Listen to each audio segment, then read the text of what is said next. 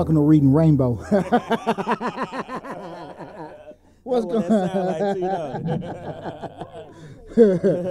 Hey, welcome. To, uh, happy Thursday, everybody. Welcome to Change Your Lives, hosted by yours truly, Deonte Burden. We got an awesome show planned for tonight. Uh, tonight we'll be talking about when other races look at you, or you look at other races, it's their perception of reality. Gonna be an awesome show planned for you guys. But uh, before we get started, I want to say what's up to my awesome producer, DJ Lab. What's going on, brother? My man, can't, you know, I'm hanging. Also, the Slick 316. You know, want to say what's up to y'all out there. Also, give a big shout out to my assistant, Joni. Um, Johnny. yeah, talked to Joni yesterday and everything. So, um, uh, wish her uh, speedy recovery, everything. She's doing well with everything. But uh, I'm super excited about tonight's show. Super uh, excited about tonight's show because that's one of the things I was thinking about. You know, like I uh, mentioned before, I wanted to bring a lot of good shows, and even next month we're gonna hit a whole lot harder because with it being Black History Month, Uh oh. we're gonna be uh, dealing with a lot of shows that's uh, impacting the Black community. Okay. You know, we ain't gonna be dealing necessarily in history, but more so from a uh, financial empowerment, activity wise, different kind of things. A lot of thought provoking shows uh, from yours truly. And That's everything- right, that's and right. everything. So super excited about that.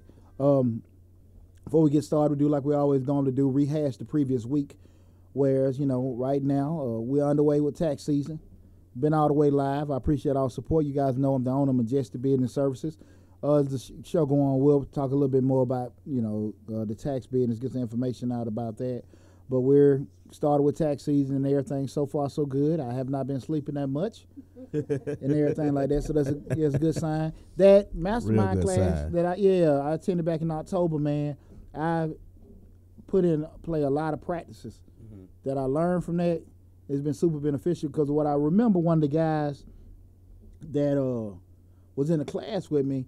He said, "Man, this is my seventh or eighth one." I'm like, shit, you know, I was already pulling my damn teeth to pay that money to come to one damn time. But they've been following this guy around the country like a tribe. But what he said stuck with me. He said, "This is my seventh or eighth one." And a lot of you guys, they go to it just like I do, but you can tell who leaves and doesn't uh, implement the strategies that he gives everybody Oh, okay. and everything. So that kind of stuck with me. Like, well, shit, I ain't gonna be one on one. So going through my notes, it's a lot of stuff I haven't done, but it was a lot of practical goals or, or, or practices rather that he gave that you don't have to spend money on and everything. I've implemented, man. It's been it's impacted me greatly uh, so far. So you know, again, you know, I appreciate our support. Majestic the Services we'll give um, some information about the company as we go through the show.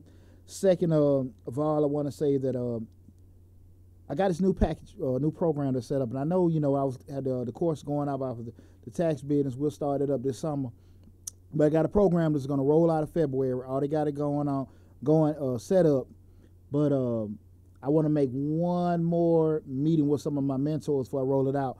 But long story short, I got a, a program for a lot of these uh, park and rec youth uh, youth organizations. Well, well, you know, you see all the time people out here doing the GoFundMe. You see little po kids out there. I'm saying po- Selling water. Po pitiful. Nah, I ain't talking about selling water. Got a damn empty helmet on Oh, okay. With the uniform on. with the basketball uniform on.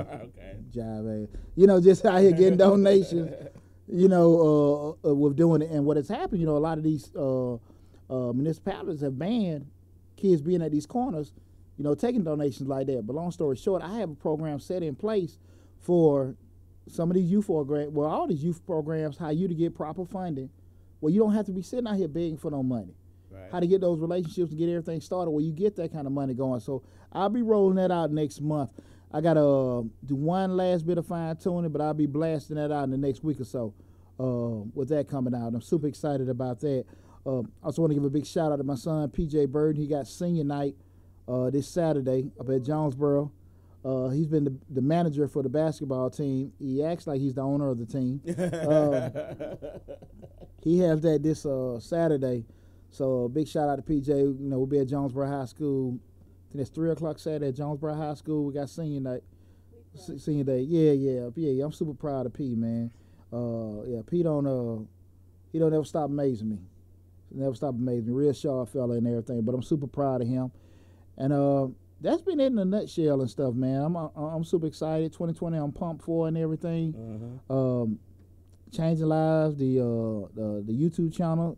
We have like a staggered growth and everything, but I'm learning a lot and everything. So people, if you're tuning in, especially looking at Facebook, Instagram. Go to the YouTube channel, Change the Lives. We put the link everywhere on there to the uh, the YouTube channel. Subscribe to the YouTube channel. But even with that said, I appreciate all the following and all the support we've got, you know, through Instagram, uh, especially like on Facebook. Man, it's been amazing. Excuse me, the amount of growth that we've had on the Facebook channel. I know uh, Slick six six three sixteen have done an awesome job with helping me out with that and everything. But I hope you guys are tuning in and liking the page and listening to the show and appreciating liking some of the information we're putting out there because I work real hard to to to give information uh, to the community and make sure you guys are getting great stuff. And like tonight, when we're talking about the show, when other races look at you, what is their perception of the reality? I want to really discuss a, a, a a subject in terms of when people view other people and they have already preconceived views about it. You know, is it true? Or people see you, is it true? And I think we got a great show planned with that. But uh, last again, this is a Change the Lives hosted by yours truly, Deonte Burden. Go to the Instagram, Facebook page, or YouTube page, put in Change the Lives or Deonte Burden. It'll pop up. Make sure you like, share, and subscribe. Look at the videos. Uh, leave comments. You like it or don't like it, whatever. You know, uh, uh, give me that so we have some kind of activity going.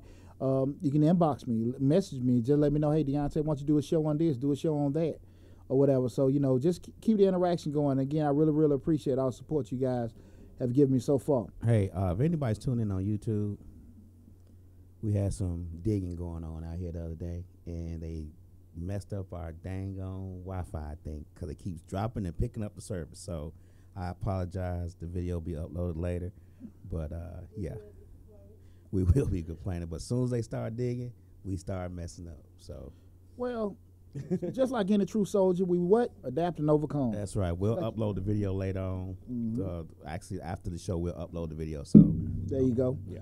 Yeah, well, too easy, too easy, just like any true soldier. but again, tonight's show will be asking uh, when looking at other when looking at other races or people looking at you, is their perception is reality. And uh, I know a lot of times we see certain people, certain groups, you know, you see Hispanics, you see whites, you see Asians, you see Indians. Everybody got vast opinions about well, they do this and they do that, and we don't do this and they don't do that.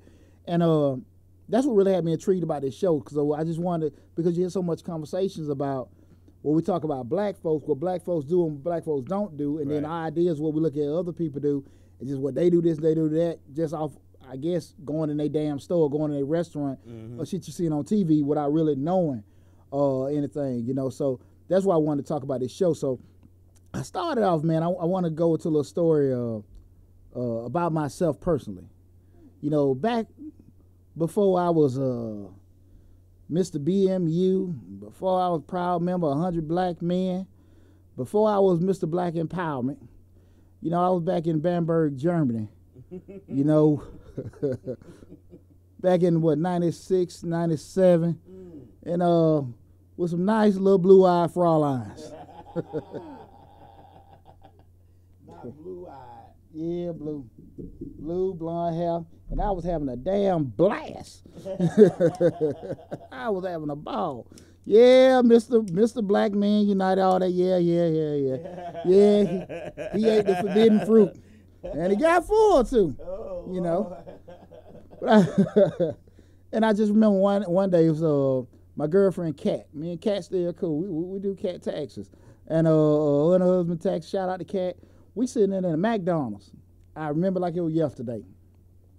Sitting there with this German girl at McDonald's, eating my burger, you know, feeling good and everything. I'm about 18, 19 years old. Right. Um, and walk in about six, I swear, eight foot, big bald head skinheads. Really. I said, shit. And they weren't like regular skinheads. They were like eight feet tall, eight feet wide, um, Leather jackets, boots. black black jacket, black pants, black boots, red shoelaces. I remember it. Yeah, yeah. And not only were they big and white, but they had these big ass purebred German Rottweilers. God damn. And I'm sitting here like the German, the Rottweilers about the same size that Chevette I left on Bankhead. and they walked in, What you say? and I Ah, seen them. I said, well, "Damn, boy, you done damn bust your ass to get off Bankhead, and this is not What- how Pooch is supposed to go.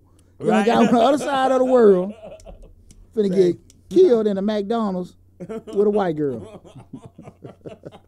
and that's what shit. Yeah. I was scared as hell, like. I Really? said, "Oh, these white boy finna kill my ass. They finna kill." And I seen them coming in, and The funny part ain't no funny part. She just a damn laughing. Hee hee hee. They come. Mm. Here they come. you know you're gonna get some of this whooping with me I too know, now. right, I'm gonna throw you in with it. and uh, I was scared as hell. Like I seen a big old white boy coming, and they just walking in with them big. Because in Europe, you know, you can bring your animal, your pets in. really? Yeah, man. Yeah, they come in with it. Come in with you. So they coming in, big old white boys. I'm sitting there like, God, this ain't how Pooch's supposed to go. And So you uh, got out back here. and they, got- man, I'm gonna go ahead. Love Becky, Mm. Nah. oh yeah, Germany with a white girl. Taste the forbidden I'm trying to, yeah, try to hide. Hey, get away from all the robbing and killing. I'm a man. Boy, boy, boy. And uh, they walking in. They came in right, and uh, you know, but pride ain't finna be sitting down, you know, Looking punking. Yeah, no. So I'm looking up. I remember like yesterday, coming, and they had one of uh, CDs. You know, you know, they back here CD, compact disc player, your You headphones, got your uniform on? huh? No, I had a uniform on. I had a uniform Oh, on and okay. everything and everything. But uh, you know, they have a lot of uh, a big African community there. But you can tell American from African. Right, right, Just right. we all clean cut, especially soldier. Mm-hmm. But I had uh, you know, back when you had CD players and everything. So I had my Walkman sitting on my, but I had a CD Right, right. sitting on the uh, uh, uh, the table. Okay. So he walking past me. I'm looking up, and he looked down. He said, "Fugees, I like them." "Shit, I do too." And I'm sitting there like, and all the rest of them looked at me, gave a thumbs up, and they went on to the counter and ordered their food. This. Get the, Really? yeah, yeah. He said Fugees. You know what I'm saying? Yeah, I yeah. you know, and I said, man. And what and I, and I, I say bring all this up to just say what we were talking about tonight, just don't preconceive. Right. I just knew They were gonna whoop your oh, ass. Oh boy, we finna hey hey hey. but they could care less. they, they didn't get. They didn't care two. se- They got their food and didn't think no more about you. I ain't thought I know. And, I will say this too. You know, you got a more uh, orthodox following of skinheads in Europe than you do here. You know, you got a different kind of persuasion. As far as can skinheads, as far as you know, especially how they views in terms of attacking, they just more so believe in what they believe in. But when everything, but I just in this particular day, uh, uh I seen these big old six white boys coming in like, oh lord. oh Lord. And he said, Fugees.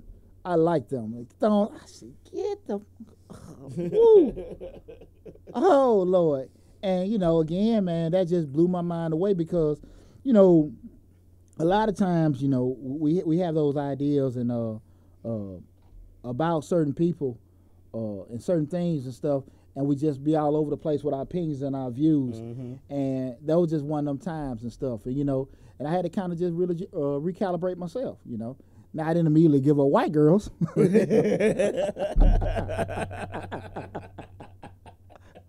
I hung on to them for a while. I hung on to them for a while. but I probably gave them views on the skinheads. Well, I ain't shit of them. You know what I said, all right, man.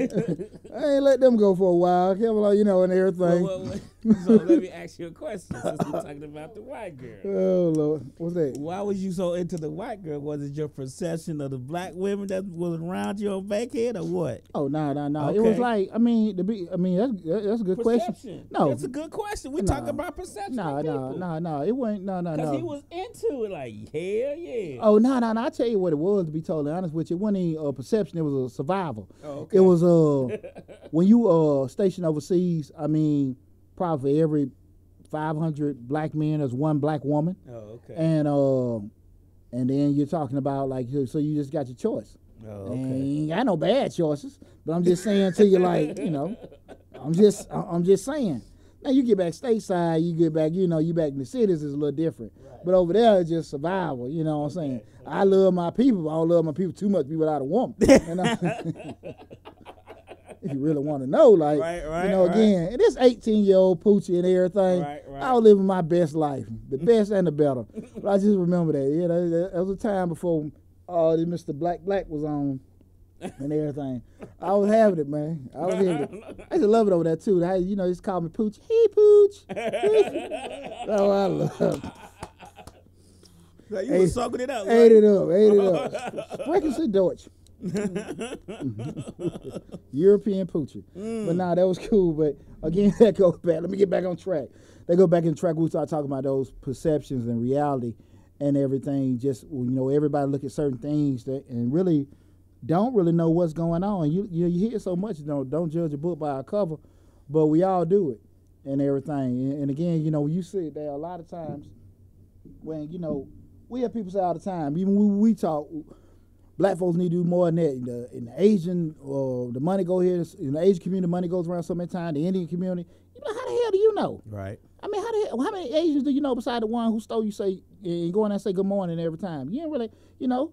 I mean, I look at myself personally. The main interaction I had with people from other races, uh, especially when you start looking at uh, uh, people from outside the United States, was you know in college, Mm-hmm. and uh, you know, and, and my views with them were like eh, cheating like hell. You know what I'm saying? you know, it wasn't like anything what I said. Like they were smarter, they work harder. Not saying they don't work hard, Right. but nothing that you know made a, a, a, a imprint in my mind to say, hey, they do something different or better than what Or they were we doing. Right, Exactly. right, right. And uh, and what sometimes we see, like sometimes with whites, you know, you see white is right, black is wrong. You know, black is bad, white is good. You know, we, we, I think a lot of so many people have these different views and stuff like that. But when you look at people, and sometimes, or they even look at you, what we want to discuss is, is this stuff real or not?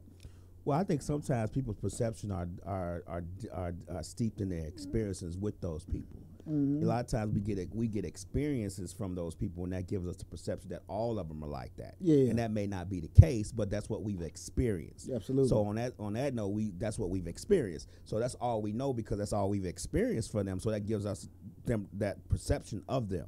Good, good, good, good You point. get what I'm saying? Good point. That's one of the things we're gonna go over tonight's show too. Yeah. That's what that's one of the points we're gonna go over tonight's show. It's a great point.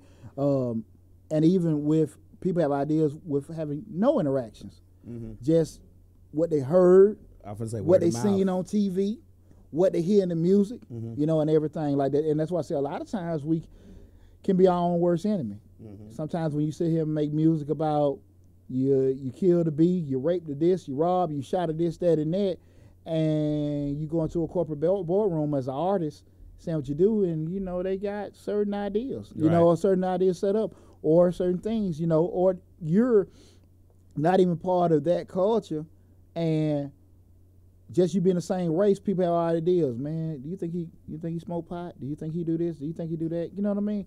And yeah, nothing to do with it. So you spend your time proving what you're not instead of what you are. Eh, eh, eh, if you try to prove or not, Yeah. they believe what they believe. That's true. And, and- and- and- that's humans. Hey, we can be the same way. You're not necessarily. You have some, a lot of people that are truly open minded and take, hey, you know, till you show me different, I'm just gonna take at face value as that. But I think inherently we all have some prejudice Mm-hmm. here and there, uh, uh, uh, being humans and everything. The unfortunate part about it is that uh, as blacks, from an ownership standpoint, we we're behind in a sense. We don't have a lot of things that we own. So even when we try to create our own opportunities, we sit kind of lagging behind. So much we're doing certain things. Now I do think we're doing a whole lot better than the overall image that's That's- that, that, that's that's perpe- that perpetuated in terms of black folks not doing this. We don't own this. We don't own that.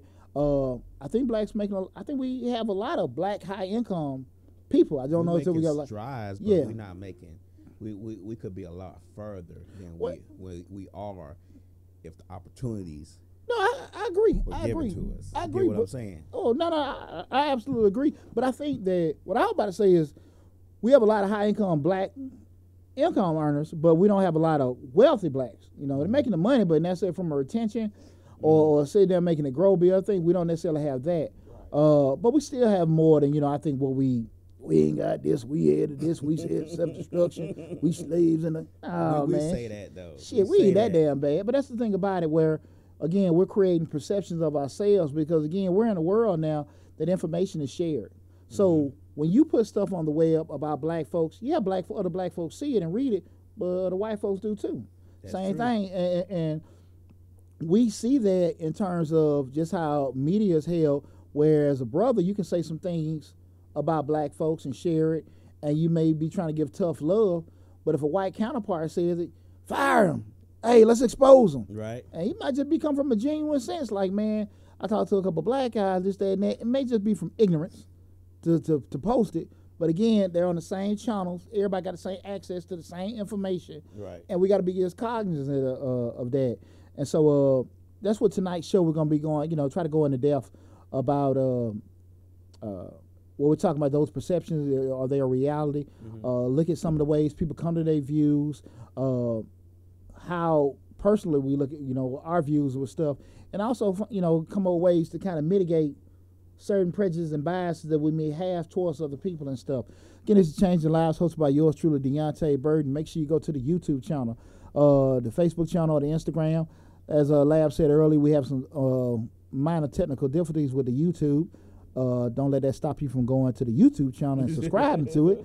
But we'll have uh, upload later on. But if you're tuning in on Facebook, please feel free to be interacting, leave me your comments. You got questions, anything like that, we'll get to you and stuff. Uh, same thing with the Instagram and stuff because, again, I, I, I do want to get everybody's views and ideas what we're talking about and stuff because, like I said, the thought process that came up with this show was I hear so many people saying what we are and what we are not doing and what other people are, but they really don't know the other people.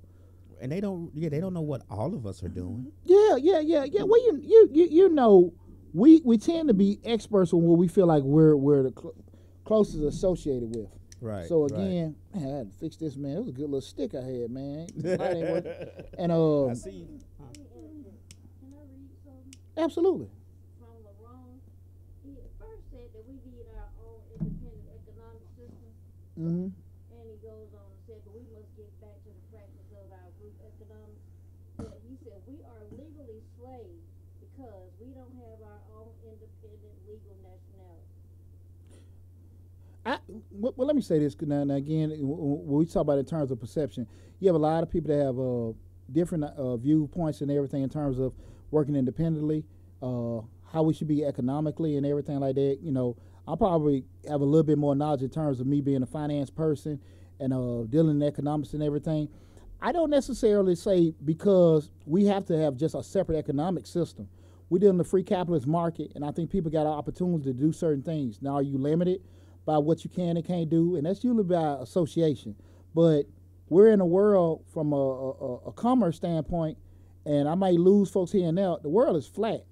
You can actually be in your underwear working at your computer and make millions of dollars a day. Millions of dollars a day. And I just think um, people have different ideas, and I've studied uh, uh, Dr. Claude Anderson in terms of the group economics and working together and everything like that. I think in i- i- in theory is great. I just would like want to see it in practice. Now, when we had to do that in segregation times and stuff like that, people were doing it, but were we thriving or were some thriving? That makes sense. Because Right. Mr. Charlie had a store, Mr. Such and Such had a TV place, and it was a furniture place or a grocery store, but that still was maybe what one percent of that group Mhm. that was able to to be sufficient. You still had the vast majority of them; they weren't being able to do that. So, and you also were still limited in terms of even the ones that got educated and worked in schools, worked in hospitals, they only could deal with black folks. So they still were limited. Whereas when the gates got open, they got opportunity to do other stuff. I, think I think that people get the misconception that we can just have our own econ- for one, an economic system take hundreds of years to build, take years to build. For one, for two is that you cannot. You, you can't have a, your own economic system and not deal with anybody else. You have to. I think America's learning that by all the trade things we got going on because the world is so intertwined with everything that you can't be without something and not you know you can't be without these people because they do this you know you know italians make tinker toys or and the chinese make this and everybody else make that and all that comes together to make one big thing that we all need Mhm. so the economic system is so intertwined with everything else there's no way you can have just your own there's no possible way and I think, you know, to be honest with you, I don't think you lose any um, uh, racial self conscious or where you like you feel like okay, I'm in the less black because I'm dealing with other people. The thing of it is, like I said, theoretically, when you say okay, we're we're being slaves because we don't have our own with this, that, and that, your own is what you own. Mm-hmm. And when you sit here and you're in a competition with, you know, we can say and say, well, Asians they deal with Asians, whites just deal with white. That ain't true. Whites making money off blacks, Asian making money off whites, everybody's making money off different people. At the end of the day, you got to find out what you're trying to do and, and do business. You know, just to kind of just shed light with me being a business consultant, dealing with business development with Majestic.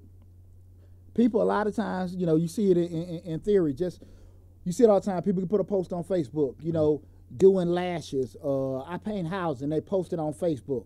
And when you post it on Facebook, even when folks share it, what's going to happen is they're going to share with who people you know the people you you posted the people that you friends with they're going to see it Mm-hmm. they may share it to a couple people so what the hell that done did Right. so if those people that i know that already know i damn paint don't pick me or if they haven't shared so I pick it up I'm limited but if i put some money behind it and spread it out between all Atlanta. We're talking about wait, let's let's just throw some, some hypothetical numbers.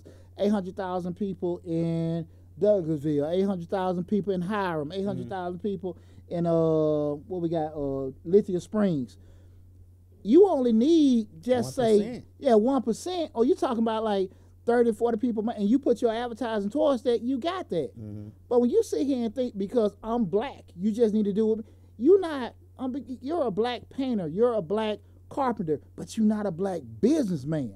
Business is, is And- universal. And, and that's it. And, and that was uh that's why I think a lot of people need to get out of we because I think naturally we talked about this in one of the other previous shows in terms of black businesses and everything like that. I think naturally black folks gravitate to a black business. White mm-hmm. folks gravitate to a white business. At the end of the day, the problem comes up people ain't necessarily being business people. right. And I think that's probably when we start getting these things where like perceptions. We're not supporting each other and everything. I think we do support each other. I think a lot of our businesses fail because we're we own a business, but we're not true CEOs. Right. I seen that on other week on a, uh Shark Tank. Uh, Mark Cuban called a young lady. He said, you know, you know, she kept saying I'm the CEO. He said, you're not a CEO. You're you're a bit. You own the business. You're not a CEO because you're not thinking about forecasting, projecting, analytical stuff. What a CEO does. You know what I'm saying? Make those kind of decisions. But when you understand what an actual CEO is and the difference between that and a business owner, that's when people are like, oh man, it sound good. You know, but in, in theory, you really don't know what it is. So I understand people have different views in terms of just having a different economic system. I don't think you need that. I think that if you have a product that people want, people gonna buy it. Regardless. You know e- exactly, and you see that honestly that if Asians can own and dominate a, a market, being the hair care product uh, market that we buy everything from, uh, that show goes to show we can do the same thing. Mm-hmm. They didn't need to have their own thing to do it to make money off us Right. and everything like that. So I just think that a lot of times people have ideas and everybody's entitled to their opinion, but they really don't know how systems and theoretically, you know, economies and all that kind of stuff is set up and everything. Because again, you're at a point right now. Again, you if you want, especially in the city of Atlanta, you just need a damn business license. But if you got the hustle and bustle and some knowledge behind it, man, you can make a lot of money Mm-hmm. you can make a lot of money. Now, the other thing is kind of like my video I put out a couple weeks ago. You just can't assume everybody want to buy the stuff you selling. Everybody don't want pot ass soap. Everybody don't want to buy the kente cloth. Exactly. You know what I'm saying? So again, you got to be real with it. Yeah. You know, I might not like your shea butter. you know, again, but there are people that want it, and there are people all over this country that will pay a premium for your product. I think people got to get into the fact that you can make money off of other other other races, other ethnics, ethnic people. But what do you do when you make that money? Bring it back to your neighborhood and reinvest within your community because that's what most people do anyway. That's what Chinese do, Asians, Italians, all those people. They make money off of us, but they reinvest within their community. So we see it as they only mess with their own kind, but that's not the case Yeah. they reinvest within their community and do things within their community to upbuild their communities and maybe get I'm making money, so I'm reinvesting my community. Maybe help Poochie start his business. Yeah. And that's another person. Then he gonna do something. Then you spread seeds that way. But we still doing business outside our community because we got to make this money in order to uplift the community. But that's the difference. No, it, well, I, I think we we do that. I just think that the way things are now, you know, just how the opportunities we Community is got. That's why I'm about to say that word community is so vague because we spread out everywhere. Communities are mixed. Mhm. They all this that and you know. And again, so what does it mean? Y'all just gonna deal with black folks? Just gonna deal with black folks in my area? What's going to Okay, so going back to Black Wall Street in Tulsa, um, Oklahoma, Auburn Avenue in Atlanta, and Rosewood in Florida, then to the Maroon societies in America during legalized chattel slavery and the Reconstruction period. Yeah, we get. I, I get what he's saying. I understand what he's saying about those things. But also, those things were during times when we weren't allowed to associate with other races. But we weren't allowed to do those things. So yeah, we are going to be within our own community and build within our own community because we weren't allowed to do it outside of our community. Can those things be reenacted or recreated? Maybe, but I don't think so because we're so spread out now. Well, We're not within this five or ten block radius of, of Black Wall Street or the five ten block radius of Rosewood, uh, Florida. They're just not the same because we don't have to be within our own community now. We don't have to be with a black community. We can't go outside to the white community now. We can't do that. We, we don't we, we can do that now. So tho- that's a little bit different. Well, well, well but I mean, it probably in the most simplistic form. That's just looking at it like back when hell you had to send messenger pigeons, or when you had the damn uh, uh, the Morse code, Mm-hmm. or you're sitting there, you know, you got the Pony Express. I mean, we got, I mean, we. Things evolve. I, I'm talking about you. You're ta- where we're in a day and time now. We don't have to write letters to loved ones. We can send a text or an email. So advances in technologies have changed so many things. You don't. Of course, those were different things that's going on. You don't have to be pegged in with that. In theory, those things, like you said again, a lot of that came up through restriction. Exactly. not because okay that's what it is and i just think what it was. That was a, to me a perfect example of people maximizing the opportunity for the situation they were in. So now you're in a different situation. Instead of reflecting back on what people used to do maximize the opportunity you're in now. Mm-hmm. Because we can go back in the yesteryear they did this and yesteryear they did that and everything. But you know again you know back in the day man your tribe on this island my tribe on this island we blowing a horn that's how we talk we can call and just do uh FaceTime now. That's what they doing now. You know, again, we can't. The what we learn from the past, but we build towards the future. You can't sit here and, and dwell with that. You learn from that, but that doesn't mean you know. Again, things have changed. So you have those. Those were vibrant things again, but again, they were off of, you know, necessity We were and everything and stuff like that. If those people had the opportunities that we have now, do you think they'll be doing the same thing or they'll be trying to maximize the opportunity? That's the thing about it. I just don't think most people maximize opportunity. We do more reflecting on the past instead of trying to build on the future. And, and, and that's the thing about it.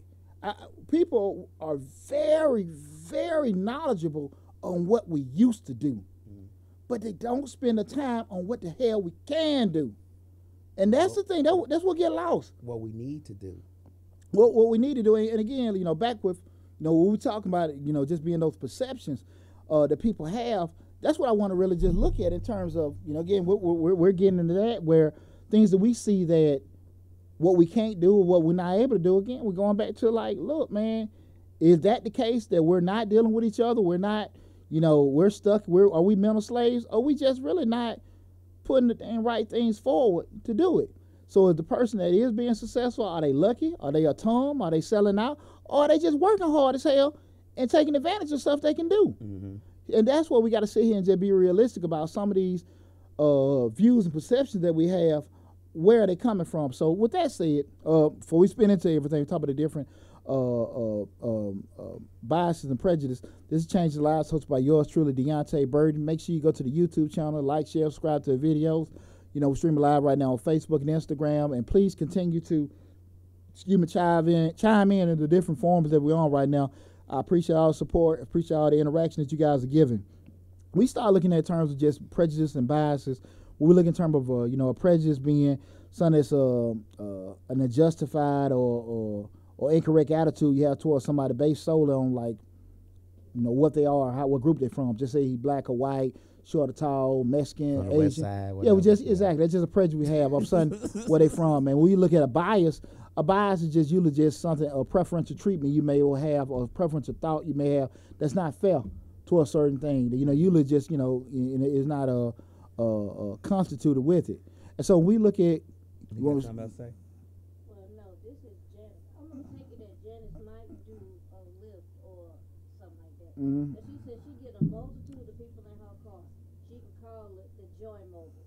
I, I feel good and bad energy. She say 90 plus percent of those who enter with bad energy, energy thoughts about blacks mention a shift in their first perception by the end of that ride. Pay attention to their feedback. uh, because because you give them good energy.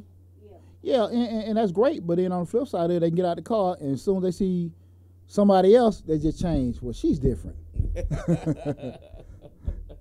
Right. So is Janice the, the Right. the rule of the exception? Exception, Yeah, yeah. you, you gave me a, like, you said a fun ride, and they get out of the car. Oh Lord, yeah, Lord, Yeah, nah, nah, yeah, Janice yeah. just different. Yeah. She's yeah. different. She different. She must got some German in her, you know, and everything. no, but I understand it, and and that's the thing about it. We we um uh again certain things when people see certain things. Um, uh, I'm, I'm gonna this. I remember when I worked at the railroad when I worked for for Norfolk, and I remember, um, you know, whites. You know, you have all these, you know, people. A lot of a lot of conservative white folks work there, and I remember just at that time. Not saying that's the bulk, but what I learned quickly was, especially in the state of Georgia, Oh yeah. white folks see black folks, you know, just you know, it might not even be prejudice, whatever. But there was one black person that white folks didn't ever see as black. There was one black mm-hmm. person that white folks never And seen as black. was the real master. No, no, it ain't no Martin Luther King. It was Herschel Walker. Let me tell you something. When I you hear a white person, I don't care if they from South South Georgia, and they talk about Herschel, it was just he wasn't. But Herschel's not black. he was universal. Herschel is just you know just you that that's that's that is probably the only only black person. Ain't no Martin Luther King. It ain't Barack Obama. You talk to any black person in the state of Georgia, they talk any white person, but they don't see him as being uh uh black. Herschel Walker. Herschel Walker. Herschel Really? Walker. You think about you, you and know, I worked at railroad. We didn't talk about. no- I worked at Norfolk too. Talk- we talk- didn't talk about that. talk, talk talk talk to. No, well y'all probably didn't bring it up. About sports though, 'cause you're not really in it. Yeah, I yeah. was. Yeah, I'm not. But yeah. but just really, it, but it, this not even talking about sports. Just how they looked at him. Mhm. They never looked at Herschel. You know, you understand. Georgia used him in three games the whole time Herschel Walker was there. So we was talking about, you know, that's just them like a god. But he's not looked at, and that was the thing about it when you just start talking about black. They can look at any other black, and we talking about prop. Hey, you might have a Klan member, but when it came to Herschel Walker, they didn't see him as being black. If you, if you, I, and, and- and that's that's one thing that stuck with me. When you talking about sports, just when they looked at it and everything, so just go to that perception. Even you meet certain people in your life, you might say, eh, different. You know, where, where you know they're not normally how I think they are. You know, you know, whatever. I used to get this all the time when I was younger. You know, uh, you got some well mannered sons. Well, what the hell they supposed to be? Now, again, a problem be- been my temperament. It might not mean no harm by it, but just saying it to me and stuff like that. Well, what the hell? How the hell is supposed to be? But people may have already had perceptions of this, that, and that. Could they have said the same thing to another white kid?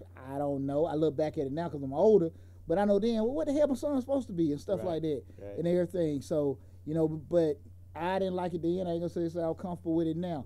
But uh, those are the kind of things that people have, and you know, inside So you're so of them. well spoken.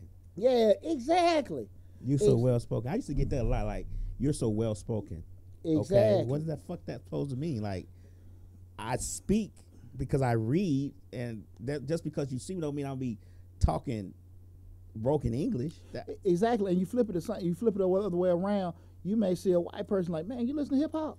Well, you yeah, don't listen to that true, and stuff true. like that. You like that? And, and, and, why the hell I wouldn't? I mean, he sold he, he sold hundred million albums. Why wouldn't I like them? right. You know, y'all didn't buy all of them, so you know, and so you think about it stuff and everything. So that's kind of thing where we have. I'm just saying we're keeping an open mind. And so when we talk about some of these biases, like we got three biases that we're going to look in terms of they being explicit, implicit, and unconscious.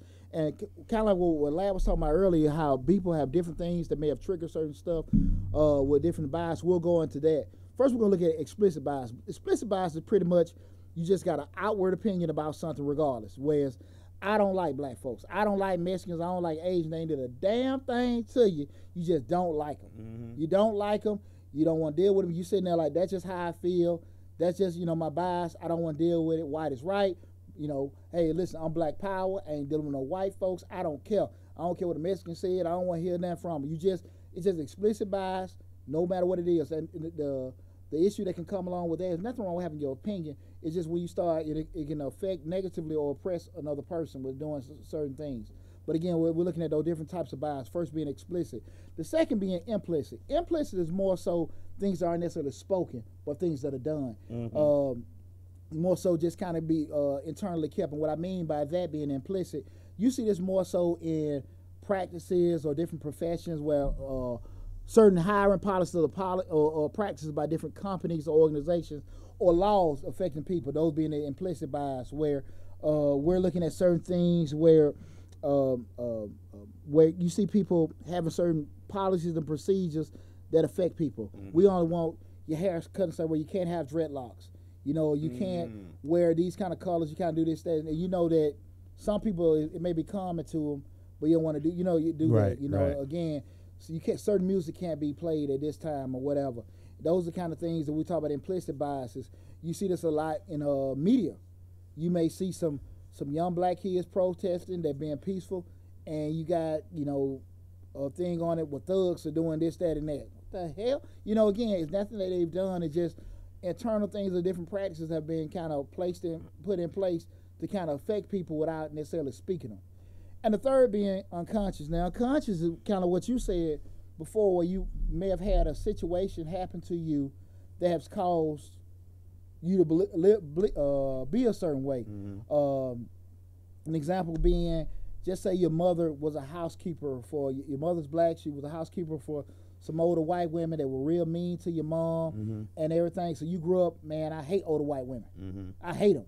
I hate them, man. They, this, you know, again, it's nothing that they that they did. It was just the lady worked for your mom. But they, what you said in terms of, you know, things that happened to you. You know, your father worked for um, this older white gentleman, and your dad came to your baseball game, and the the, the guy fired him Mm-hmm. because he came to your game, and that just destroyed your dad. And from that point forward, any white man in any kind of supervisor or authority position, you just couldn't stand. Right. Not that anybody particularly did anything to you, but inherently because that happened. So again, Right. that's what we're looking at being explicit, uh, implicit, and unconscious uh, biases and everything. I didn't go through that too fast, I? Nah, it's okay. okay, and everything. But uh, those are the kind of things. But like when you brought that up, that said unconscious bias. Mhm. Well, again, certain things that happen uh, in your life can you know affect certain beliefs and everything, be it right or wrong or fair. But it's just those are triggers that cause it. Um, and again, this is Change the Live, hosted by yours truly, Deonte Burden. Make sure you go to the YouTube channel, like, share, subscribe to it. If you're on the Facebook or Instagram, make sure you're interacting uh, with everything. Leave those comments and everything. We got we got any comments? Anything you come through? We got through. No. Facebook on fire. Facebook on fire. Well, what are some of the things we want to talk about, or just? The majority of our children are viewed from the choices of the news media. Cookie will always be picked to rattle off nothing. Well read and spoken Deonte will get shut down. So and basically, I'm the only one seeing it. uh, basically, and she's not the only one seeing it. That basically, the media will pick out the person that they think, per se, is not gonna represent us in a in a in a, a positive light. mm-hmm. They'll go pick out somebody with a pants sagging and is you know looking like, you know, the like a thug, like like they think. But see, I think the problem with that is a lot of us, I, and she's not the only one see it. We all see that. A lot of us see it, and I've seen it where they've picked out that person, and he's actually spoken well, Yeah. and it kind of shocked the me, the shocked the person. You know, they picked out the person with the sagging pants and the dreads, and thought he was a thug to, to speak about something that was going on in the news, and he actually was very articulate. So we see that, we know that that goes on, and I think that we are adjusting to it because she's not the only person to see it. Well, you know, on, on, on, on and, and, and that's true, and we all and we all understand that too. But you know, this still this still pooching from Bankhead too. and again, sometimes I've been chosen because you you may have thought you were going to get uh, ignorant response, and you may get that you know may get something different that surprise you. The flip side of it too, uh, of it is too, where I said earlier, sometimes we responsible for some of them perceptions. True. Now again, do we check? Do we check our uh, uh, our sisters that out here talking about I got the fattest this and the wettest that, and I'm gonna ride this to the thing pop, and I'm gonna get all your money? Huh? Do we check them? no, we they, clap, they celebrate no. that. They how, celebrate. many, how many of y'all sisters know Megan Megan Stallion? no. How many Megan Stallion know uh, Megan Stallion uh, song, uh, songs by heart? How many of us sit there and we check the brothers sit here talking about I, I bust him this, I shot him this, and shot him that, and everything, and the justification is that they speaking what they seen or what growing, you know, what they grew up seeing and stuff. So again, that doesn't justify people shedding a light on uh uh, sh- uh, people exposing, you know, those of us that may be, you know, not as sharp or articulate to kind of make it seem like that's how the majority of us are. I think also we don't do a good job policing ourselves. Because again, like I say, this some of the stuff we got out here right now that we see, you know, again, if we trapping this, we trapping that. And I talked about that last show, you know, if you really, really, really knew what went on in the trap, and like I say again, you see what, you know, somebody mama doing, what somebody daddy doing for some dope, you don't want to talk nothing about no trap. See, the fun part about the trap, we're making songs and- talk about it, is when, you know, we say we sold some dope, made some money, and I bought this car. But let's talk about the other side of the trap. When we want to get those perceptions, you know, what was your mama or auntie doing with your buddies in for ten dollars?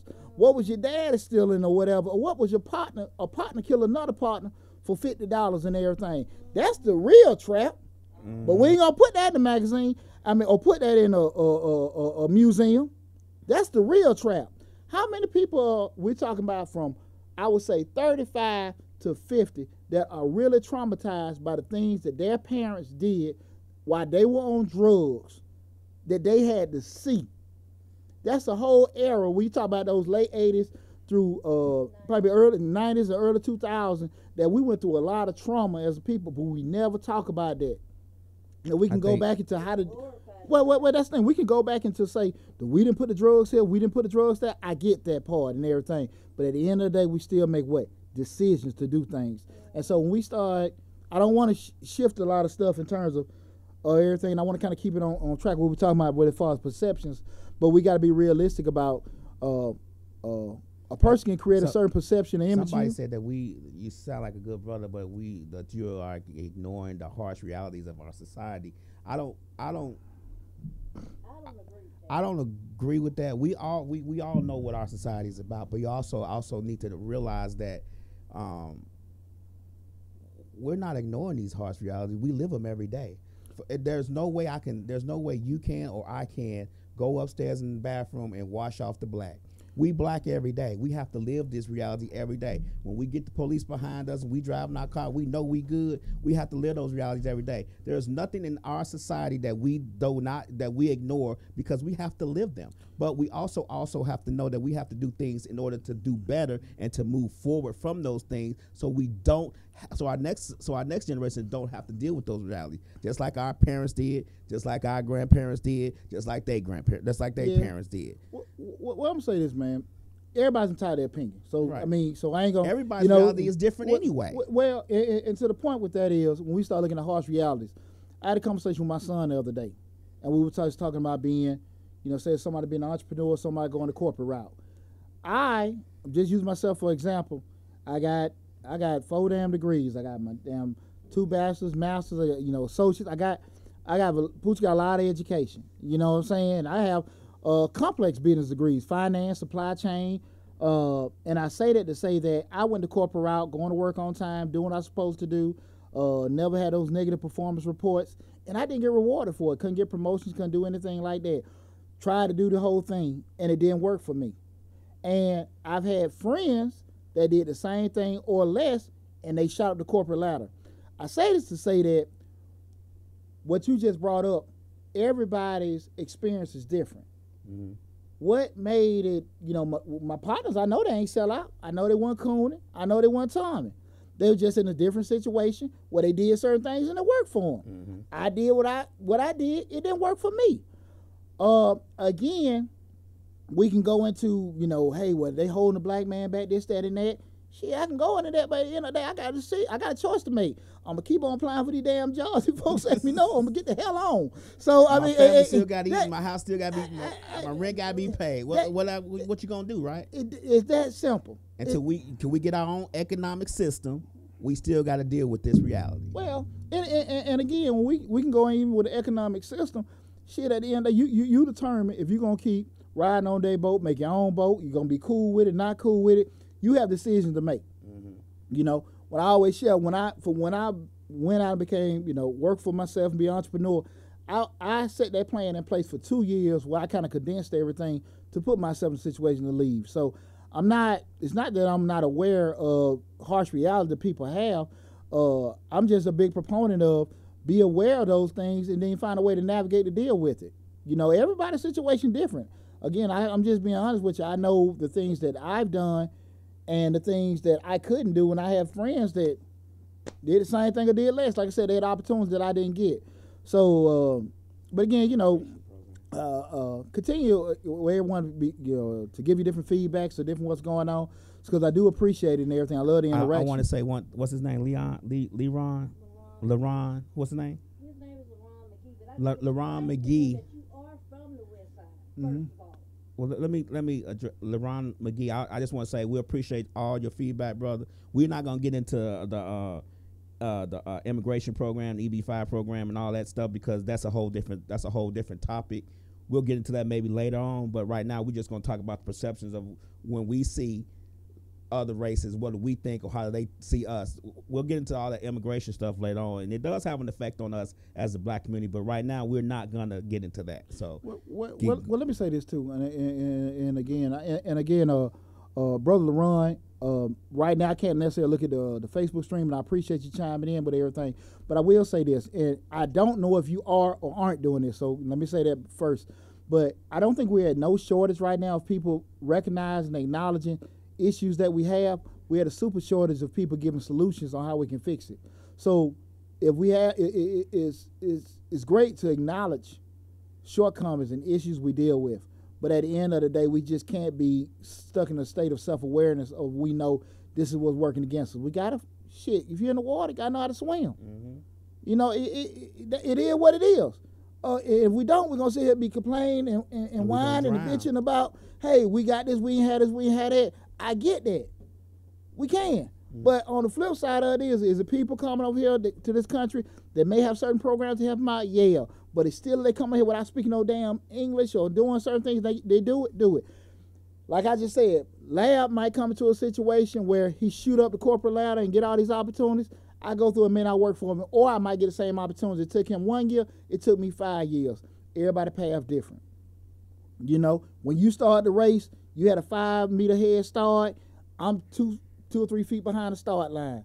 At the end of the day, I got an opportunity to finish. Even if my path is more difficult, I can sit here and complain about it. But shit, if I'm in the race, I'm in the race. Mm-hmm. So that's just how it is, you know. Again, so brother, if you if you are great, continue to do what you're doing. That's why we got this platform here. But if you aren't, man, let's, you know, make make a platform where people have solutions. Because I, can go through a history lesson and bring up all the shit well we got problems with and stuff like that.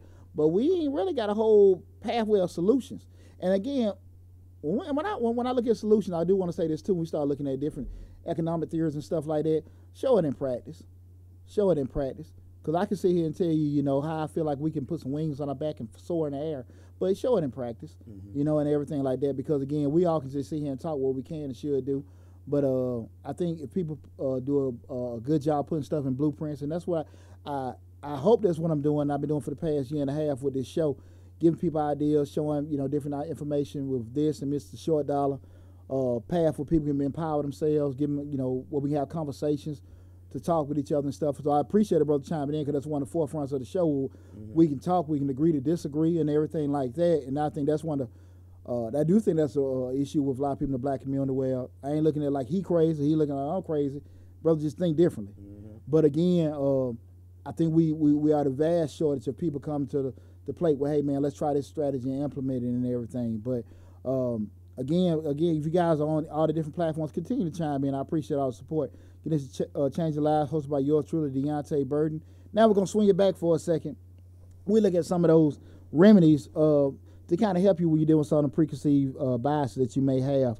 Uh, you know, we start thinking about racial inequality, racial biases, and stuff like that. They're always going to be bad, but we got to find ways that within ourselves and that we can work on certain things. Again, uh, until you know certain things, or you've been exposed to, to truly been exposed outside of maybe grocery store, or television, or radio interactions, you truly don't know, and you can't control how other people see you. You can't. And again, you know, like the young lady has said, when they get in her they get in her car. She she, she give them a, a, a interaction with a person that's a certain way, but that's an interaction. But their interactions, plural, may be vastly different. That you know, like I said, they may look at you just as the exception and not the rule. Right. So first, of all, I want to just say things we can help mitigate it. You know, um, try to avoid pre-suspicions. You know, try to just you know look at it like, man, look, let me take care of everybody. You know, face value, and just say, Mhm. look, you know, I'm not gonna sit here and look at every China man, every Asian guy. I'm like, every Asian guy's wrong. Every Hispanic is crazy. This, that, and that. I'm taking it on face value that this is a square person, and until they show me wrong, you know, I'm gonna go from there. Right. Uh, the second thing be is uh, examine your preference in light of your actions. So, a lot of times we go into it with already preferential ideas. You know, I'm five, I'm five six. A lot of women want taller guys. You ain't gonna get it here. You know, but but to that point, you don't want to have where I prefer white, I prefer black, and it could negatively affect people. Now, ain't that wrong? What you want is what you want. Mhm. But I think the issue come up when it starts suppressing, and you can't have it both ways. Look, I want to deal with a black-owned business. I want to just have this stuff going on, but then you turn around now you want to deal with some of the white corporate corporations and all that kind of stuff. Hey, look, you got you know, look, you're on a Mhm. seesaw both ways now. Got to think about that and stuff. So, uh, just kind of examine those preferences and everything. Now, if, if, especially if you're gonna be dibbling dabbling on both sides Right. uh, with doing it. The third thing is, I always ask if my perspectives or my actions uh, pertain. How would it uh, pertain to somebody I love? You know, when we start thinking about, I don't like white folks, I don't like Asians, then you, you, your daughter bring this white boy home and daddy we're in love and he's this that and that. Oh Lord. and I'm pregnant. oh Lord. My friends say Elizabeth, True, true Elizabeth. story. True story. Elizabeth, I'm coming, Elizabeth. true story right here. True story. See? And we had it going and stuff. It happens. And we got to sit here and ask ourselves, like, look, man, how, I don't know how this going to happen, how we're going to do it and everything. So that's the kind of thing um, to kind of have in your mind. How would that, how would you deal with that if that particular thing happens? Uh, the fourth being seek advice from people who are affected. Those people that have been um, prejudiced, uh, that have been uh, negatively affected by uh, racial bias and stuff like that. How did it affect you? It give, may give you a certain empathy or a certain thought processes that look, just me thinking this way, you know, I, I might like it, but this really messing people up. This has really had a major impact on people in a bad way that I really may not comfortable with. You may not give a darn about it, but it's just something to think about, uh, just to kind of you know uh, get information on that. The fifth is uh, examine uh, the honest, the honesty of your uh, your group or your organization. A lot of times we be dealing in certain businesses and everything like that. In theory, I think most businesses are designed, you know, from a, a standpoint of making profits and cutting costs and doing all the normal stuff businesses do. But when you start dealing in terms of the people that are running it, they still got their preferences and everything like that. You know, Yeah. again, you're supposed to go through a regular. Uh, you look at that with the NFL with the Rooney Rule. They're supposed to interview so many black uh, uh, black candidates, but at the end of the day, they bring one in and then they interview eight white boys and pick who the coach. But you got a what 80, 90, 80, uh, 70, 80 percent black lead. You know, again, so in, in theory, it's supposed to be done this way. But at the end of the day, people doing it, you know, uh, from a way. practice standpoint, exactly from their own way. So it's just something to think about. Again, this is Change the Lives, hosted by yours truly, Deonte Bird. Man, listen, I want to tell you guys thanks. I really appreciate everybody been chiming in so far on the um, uh, the show this week. Been all the way live again. Anybody that's on there, you send it. Um, you've been sending any kind of feedback or any kind of interaction on the show. On the show, continue to do it. I don't. I've never been the type of person. I got some. You know, again, I'm a I'm an army sergeant, so I got some real thick skin. So I I encourage people to get their opinions and stuff like that. I ain't gonna. I ain't that sensitive to get defensive or whatever, anything like that. You're entitled to it, but on the flip side of it, show the same respect. We're gonna. You're. we- have to learn as adults. You know, especially as brothers dealing with each other, we gotta agree to disagree. Mhm. That's how that brother feel. Now we can ask each other why, and I can tell you why, and you tell me why, and mine can get you lost, and yours can get me lost. But I respect that's how you feel. Mhm. And at the end of the day, if our end game is us growing, us developing, us being greater, that's all that should matter. Exactly. Not that I'm right and you wrong or whatever and everything like that. We should help each other grow from that. So, and I hope that's what we're doing with this show. You know, in conclusion with everything, like I said, when I came up, came with the idea a couple of uh, weeks ago about today's show, we were talking about when looking at other races, is your perception of reality or is theirs a reality of yours? Um, I see far too often. Well, you know, again, we, we we go to the you know the nail place, so we go to the the Asian supermarket. The Indian owns the gas station. Uh, the white guy he owns this particular establishment we go into, and we have those um, shit five ten minute interactions, if that, with these people, and just say that's what we do. And I, honestly, you really don't damn know. I really don't know if the Asian people are supporting each other community. I don't know. I don't know if the if the, the guy that owns the nail shop goes leave there and go to Starbucks. I don't damn know. But we just got this damn idea. He's going to the the the Thai tea house, keeping his money there. Then they go on there, you know, or you know, it's just that you know the a, the Indian guy leaves, you know, his 7-Eleven franchise and goes to the hookah spot, and, and, and, you know, and everything. Then he got. We don't damn know. We don't damn know. That ain't your damn friend. You don't interact with them, but it's just some kind of idea that you feel that's what's going on, cause you heard it or whatever. Right. They don't damn know if you just a, a, a hip hop fan, gospel fan, rock and roll or country because you black. They say think you are, and we just don't know. And I think people have to get out of there and start using their damn brain and be a, stop being so over analytical and assuming certain stuff. Right. And I think if we challenge ourselves to be the best us and stop using uh, uh, challenges as roadblocks and start more so using them as motivation, I think we'll be a whole lot further in life. Because again, I, I say this all the time, man. We had no shortage of uh, of, of of people giving out this is what's wrong, this what this that and that. No shit. I read the book. I I seen the shit on YouTube just like you did. You know, I seen it. But how we fix it? Now, when you talk about your solution, let's do this. And I'm like, well, nah, that don't work. I tried that before. How did you do it? Where did you see it? Well, I just heard about it. Or I practiced it in doing this and this how I did it. Oh, dang, I ain't never thought about it that way. Let's have those kind of conversations as to, uh, again, being a whole large group of people giving out these hy- hypotheses and all this uh, analysis about what's going on. Try to dig a little deep and try to get solutions. Because now, solution, remember, a solution damn near is irrefutable. A fact is irrefutable, right? Right. Right? Right. You know, this is wood, this is a cigar, this is a microphone. We can't dispute that. Right. Now, if it's high density, high tech, that's all about opinion. You know what I'm saying? If this is seasoned tobacco, unseasoned, super flavorful, or whatever, that's all about opinion. We got to understand that there's a difference between fact and opinion, and people uh, putting things out that's irrefutable or not. And I think if we make a conscious effort to get in a situation where we're doing things that can't be disputed instead of things that can be debated, I think we'll be a whole lot further along, not just as a race, but just as people in general and, and everything. But uh, again, man, this is Changing Lives, hosted by yours truly, Deonte Burden. If you came chimed in in one of the forums, being YouTube, but again, we're going to upload it again for the breakups and everything. Um, Instagram, I, I seen you guys come in and stuff like that. You know, I gave you a wave and everything. Everybody was uh, going on the uh, the Facebook and everything. I appreciate the support, appreciate the interaction. If you have anything you want to discuss further, inbox me. Shoot me, you know, hey, like I said, I ain't sensitive. We ain't, I'm one person. We ain't finna be going back and forth, calling. I ain't nan feminine about pooch. I tell you that right now.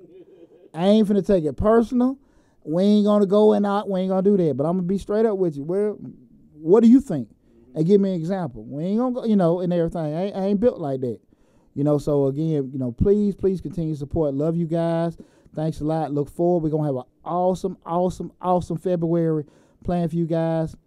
Any ideas, any feedback and stuff, shoot it to me and everything. But make sure you go to those YouTube channel and subscribe to it. Changing Lives hosted by yours truly. And I forgot to mention Mr. Short Dollar where we talk about finance, business, entrepreneurship, and real estate investing. Thanks for all the support, you guys. See you guys next week. Love you.